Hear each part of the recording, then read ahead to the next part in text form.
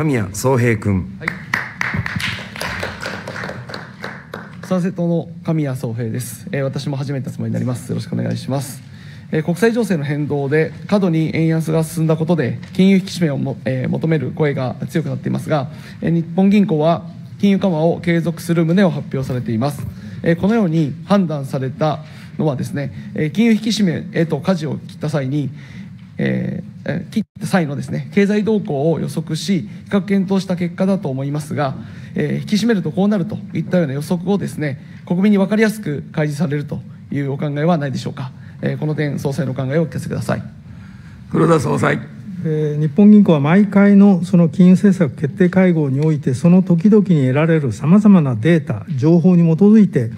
先行きのお経済物価見通しとリスク要因を点検して、まあ、政策を決定しております。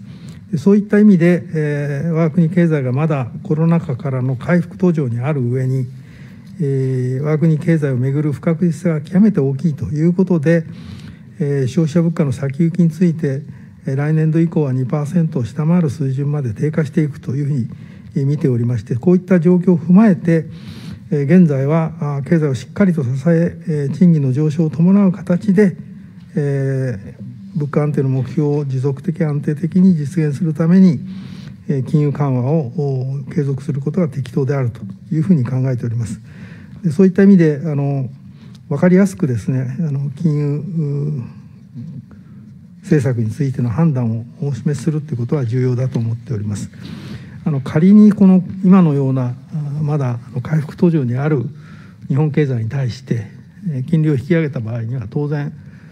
えー実質金利が上昇し企業の 資金繰りがさらに困難になりあるいは設備投資にマイナスの影響を与ええーそして、えーまあ、あの住宅ローンへの影響ををを与えてですねあの消費にも、えーマイナスの影響が出てしまうという恐れがありますのでやはりあくまでも経済がしっかりと、えー回復して、えー賃金の上昇を伴う形で物価が緩やかに上がっていくということをを実現すべくう金融政策を運営してまいりたいというふうに考えております。神谷宗平君。はい、ありがとうございます。まあ、こういったことをですね、えーどうしても国民が分かってないとですね、メディアとかがこう報じたときにですね、世論がバーッと流れてですね、政策が変わってしまうと非常に危ないなと思いますので、えー少し聞いてみました。えー次にですね、えー欧米の中央銀行は現在のようなコストプッシュの供給インフレに対して金利引き上げの引き締め政策をえ強化して進めていますが、本来ですね、金融政策は需要面に働きかけるものであって、供給インフレに対する手段手段ではないというふうに考えます。にもかかわらず、現状で各国が引き締め政策を取るということは、世界的に需要を過度に抑え、大幅な景気後退を招く危険性が大きいのではないかと考えています。特に近年の金融市場における世界的な債券バブルとも言われてきた状況に加え、各国がコロナ対策で相当お金をばらまいてきたという状況を考えれば、かつて我が国がバブルの崩壊で起きたのと同様の現象が各国の利上げ政策によって世界的な規模で起こるという可能性はないでしょうか。総裁のお考えを聞かせてください。黒田総裁。先ほど来申し上げました通り、世界的なインフレ圧力を背景に、各国の中央銀行は早いペースで利上げを進めております。えー欧米のインフレ率は8%から11%ということで、えー主としてもちろんあの、えー 輸入物価の上昇を反映しているとはいえ、まあ、賃金もかなり上がってきて、えー需要面でもあのコロナ禍からの回復テンポが非常に早かったということもあって需要面もかなり増加しておりまして需要と供給と両方の面でインフレ圧力が出てきているということで、えーまあ、各国の中央銀行としてはあの金融の引き締めによってもちろん需要を抑えるということですけどもそういうことを通じて、まあ、インフレ圧力を軽減していこうということであります。で、えーこういったことがあその各国の経済成長を減速させてマイナス成長あるいは不況に陥れるのではないかという懸念については IMF も指摘しておりますけど一方で今のところですね IMF の見通しでは海外経済は全体として減速しつつも緩やかなプラス成長を続けるという見通しになっています。またあの BIS の総裁会議などではですねその問題もさることながらご指摘のですね国際金融資本市場でいろんな状況が起こるのではないかということはあのもちろんあの注視しておりまして、え、そういった意味であのリスクがないわけではないんですけども今のところですね各国の利上げ政策で、え、世界経済がマイナス成長に陥るとかですね、えー、金融資本市場が非常に大きな影響を受けて、えー、それが日本などにも影響を及ぼすというリスクは小さいというふうに見ております。神谷宗平君。はい。えー、世界の状況についての分析、えー、理解しました、えー、我々賛成党はですね、まあ、日本において日本の現状においての金融緩和の日銀の政策には賛同をしたいと思います。しかし、えー、過去10年の変遷を見ても分かるようにこのまま金融緩和だけを続けても給与や賃金は一向に上がらないと思います。そしてここに来てプッシュ、えー、コストプッシュ型の悪いインフレですね物価上昇していて、えー、国民の生活が厳しくなっているという悪循環が起きているということですね。国民が使えるお金が増えないと結局景気はもちろん国民の生活が改善されません。つまり日銀が単独でお金の供給を増やす金融政策だけやっても何も解決できないということがもう分かってきたというふうに私も思っています。今の状況を例えるなら医者である政府が全く治療を施せず血が流れ続けている患者に日銀がひたすら輸血を送り続けているようなそんな状況ではないかというふうにも思います。えそしてですね、その日銀が輸血をしている相手がですね、まあ、政権与党に票をくれるような企業なんかではないかというふうにも見れるわけですね。国民が直接もらってないわけですから。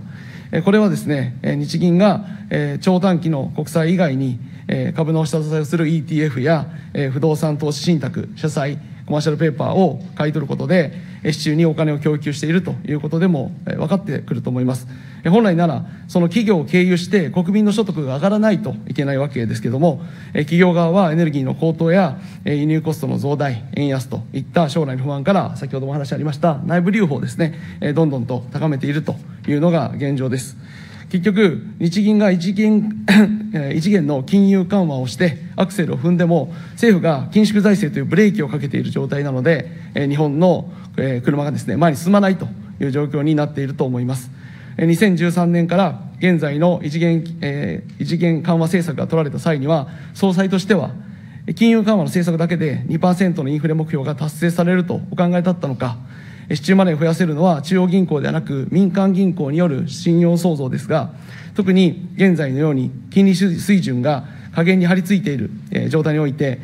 銀行の信用創造に依存する金融政策だけでは、中央銀行が思うように市中マネーを増やせるものではないというふうに考えられます。そうであれば、日銀として2%のインフレ目標を掲げる以上、政府に対し、国債発行増による、えー、財政支出の増、および減税といった積極財政でマネーの増大を求めるのが日銀日銀の立場になるというふうに思うんですけれども、その辺の総裁のお考えをお聞かせください。はい、黒田総裁。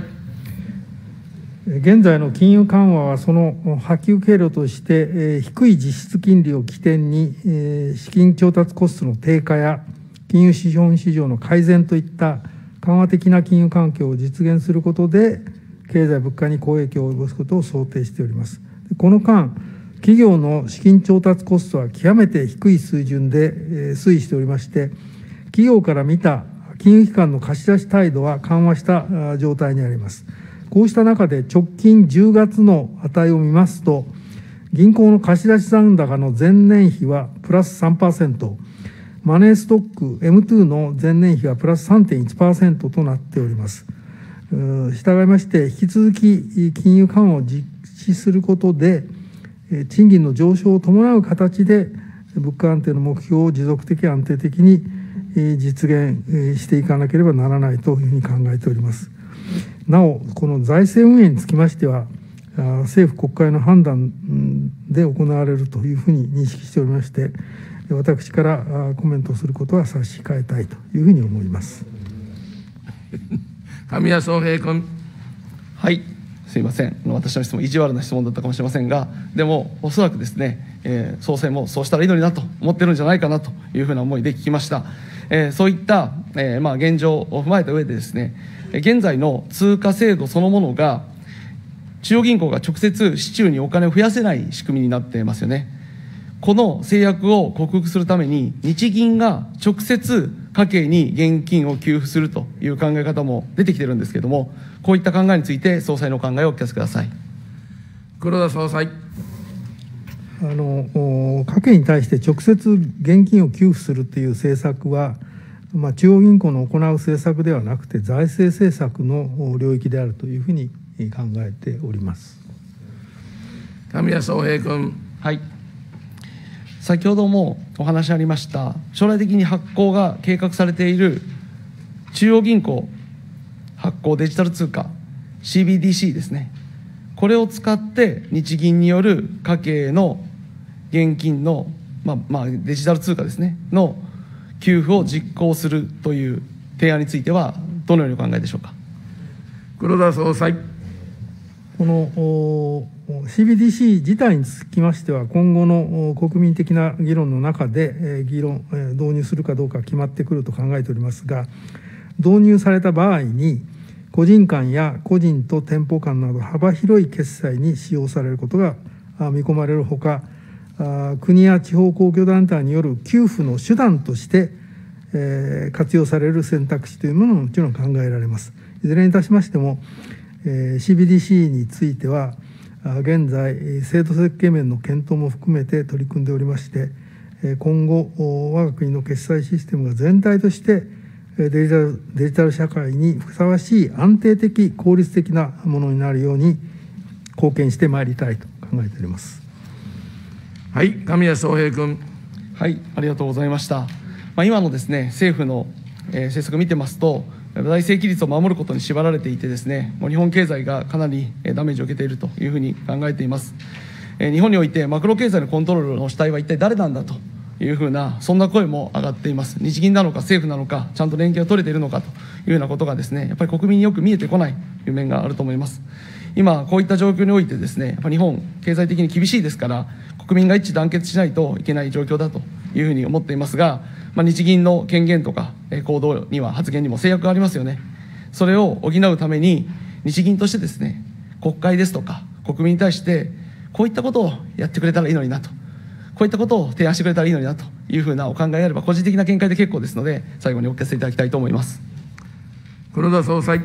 あのお財政政策、あるいはあ構造政策は、これはあの政府、国会のお権限と責任に属しますので、えーそれについて、え私からとやかく申し上げる立場にないということをご理解いただきたいと思います。えそういったそその上でですねあの長期的に見たあの財政の健全性の確保ということはあのえ金融政策あるいは金融システムの、え安定性ををを維持する上でもあの重要だというふうに考えております具体的なその財政政策あるいは構造政策についてはあの日本銀行から何か具体的なことを申し上げるのは適切でないというふうに考えております。はい。神谷宗平君。はい、ありがとうございました。まあ、先ほども繰り返しになりますけれども、やっぱり今、日本全体大変ですから、これは権限ではない、どうだと言っている場合ではなくてですね、みんなで一致団結しないといけない時期だと思いますので、えー引き続きまた政策の推進よろしくお願いいたします。ありがとうございました。